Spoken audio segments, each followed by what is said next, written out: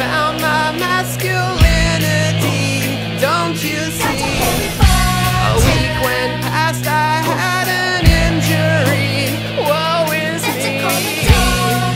My brother handed me a plastic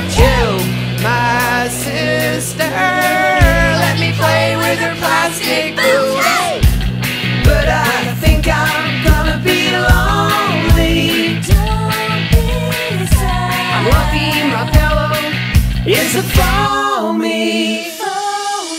I wake up in the morning with a feisty little fella, but I can't escape the feeling. My hair pillows turning yellow. I was fine until the summer. It's really quite